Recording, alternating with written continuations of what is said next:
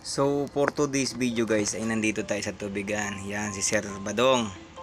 Yan ina-assist tayo dito. Yan shoutout kay Dong Buds TV. Yan may channel po yan. Pa-subscribe na lang po sa kanyang channel sa YouTube channel. Dong Buds TV. Yan. Nandito po yon ay ito po palang mga bus na to ay mga Queen Hearts, Queen Hearts daw to. Yan. Binili na ata ng HM to. Yan o, napakaganda. Ikutin natin to guys. Yan o. Yan. Napakaganda niyan. Tingnan natin sa loob. Oh. May mga plastic pa. Ang mga upuan. Itong bus na guys ay ano to. Ay i-repaint. Gagawing pula, gagawing HM transport. Yan. At ito pa guys ang isa. Ito i-repaint din ata to. Ganda to guys oh, kasi may CR to guys itong bus na to. Itong Grand Courier. Ganda rin ito guys. Ewan ko kung anong biyahe nito. Binili din ata ng HM to. Pasukin natin guys. Ang ganda rin nito. Maganda to guys sa ano sa mga probinsya ang biyahe kasi may CR.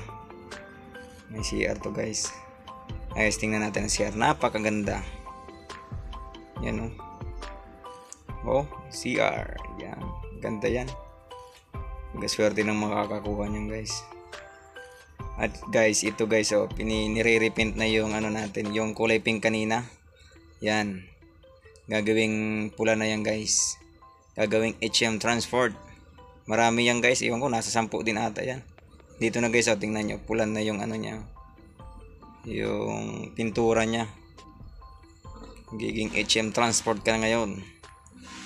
Napakaswerte ng ano niyan, bagong bago. Ang makakahawak ba? Swerting swerte.